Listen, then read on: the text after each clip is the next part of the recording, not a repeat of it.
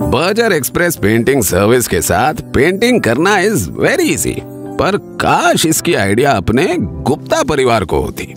अच्छा सुनो। एक के बाद एक त्योहार आ रहे हैं। इस बार भी अपने घर की पेंटिंग नहीं कराओगे ना?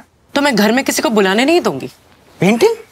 पहले पेंटर ढूँढने की सरदर्दी घर भर धूल मिट्टी ऑफ़िस से छुट्टी लो घर की रखवाली करो बॉस का गुस्सा झेलो। ठीक है। फिर आप ही सबको बता देना कि मत आओ। यार महेंद्र इस साल घर पे नहीं मिल पाएँगे। कविता की मासी की ननद की बेटी का पति और उसके ससुराल वाले आए हुए हैं। घर पे पैर रखने की जगह नहीं है यार। हाँ। हाँ चाचा जी। मिलना है? कुछ नहीं, चाचा जी। कफ है। आप कहते तो मिल लेते हैं। नहीं मिलना?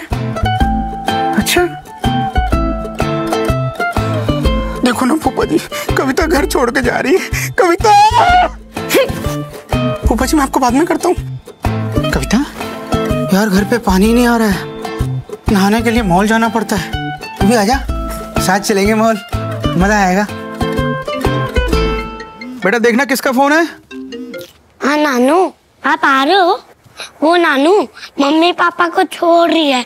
मॉल में हम सुसु करने जाते हैं। घर में पैर रखने की जगह नहीं है। और पापा को बहुत खांसी है तो आप मत आओ।